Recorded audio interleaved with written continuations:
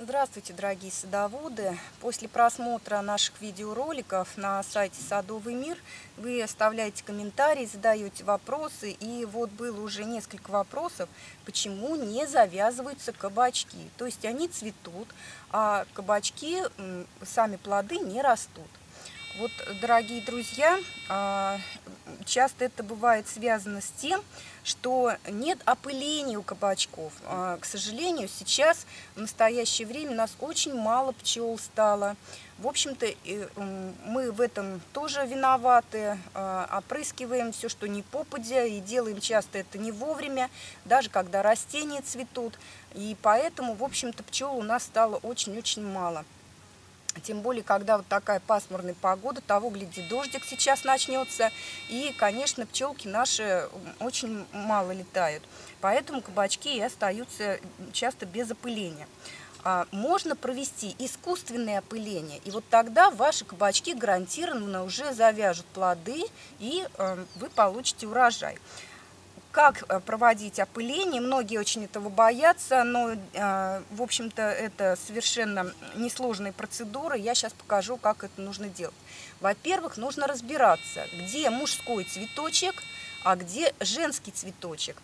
Вот, э, дорогие друзья, у нас как раз такая ситуация, что уже и мужские, и женские цветы появились на растении.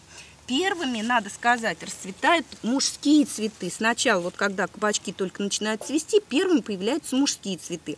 Они как сигнал привлекают насекомых, то есть они говорят, что вот здесь вот растет кабачок, который можно опылять, который будет давать им нектар. А потом расцветают уже женские цветки.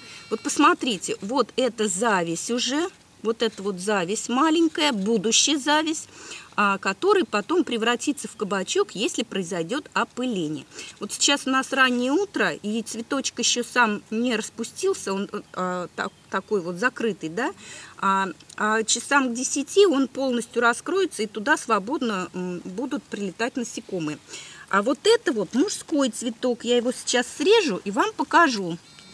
Вот он здесь у нас расцвел тоже, опять же, не до конца раскрылся. Посмотрите, завязи у него никакой нет. Это ножка, просто вот цветоножка. Она ровненькая, тоненькая, без всякого утолщения. Вот сравните, пожалуйста, да, вот у нас э, женский цветочек э, с таким огурчиком крохотным и мужской цветочек на тоненькой ножке. А, нам его не жалко срезать. Почему? Потому что он у нас потом не даст никакой завязи. Да? Он у нас только выполняет техническую функцию опыления. Что дальше нужно сделать? Вот этот венчик можно для удобства полностью удалить. Вот так мы его аккуратненько удаляем. И вот здесь вот у нас находится пыльца. Вот на таком вот столбике это вот такие тычиночки у кабачка. Вот.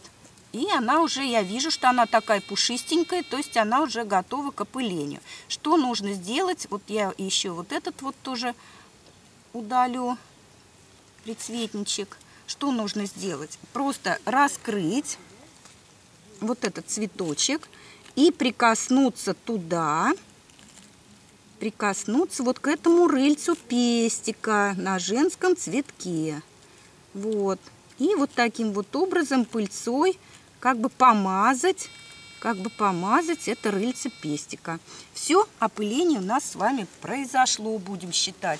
И вот таким вот мужским цветочком, если у вас, например, два женских расцвело, а мужских всего один, то можно опылить и два цветка, и даже три цветка, там пыльцы хватит. И вот будем наблюдать, как у нас с вами будет происходить развитие завязи, и как у нас будет развиваться вот этот вот цветок.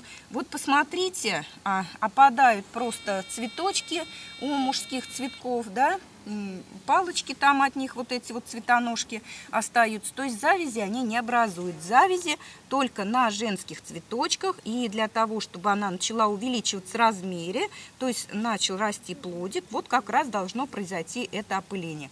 А вот видите, сегодня какая погода, никакие пчелки не летают, а мы с вами выполнили роль пчелы, опылили наш кабачок и будем надеяться, у нас вырастет хороший вкусный плод.